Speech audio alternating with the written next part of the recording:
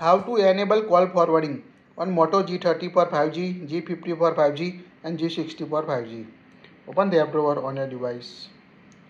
Tap the phone app. Tap on the three vertical dots at top right corner. Tap on the settings. Scroll down. Here you can see the calling account section. Tap on it. Now tap on your SIM card if you have a dual SIM. Here you can see the call forwarding option. Tap on it. In call forwarding setting, you can see four options. Always forward, when busy, when unanswered, or when unreachable option. So when you enable call forwarding, it will automatically forward or divert your phone call from one number to another number. If you are busy, if your phone unanswered, or if your number is unreachable. So wait until enable the option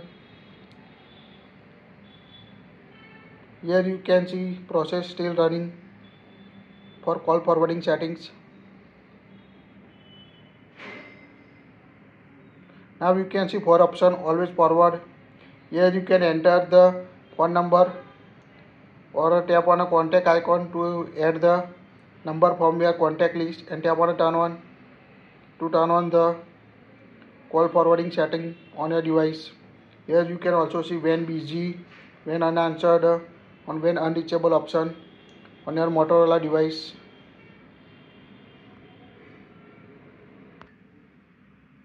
Now you can see when busy, when unanswered or when unreachable option.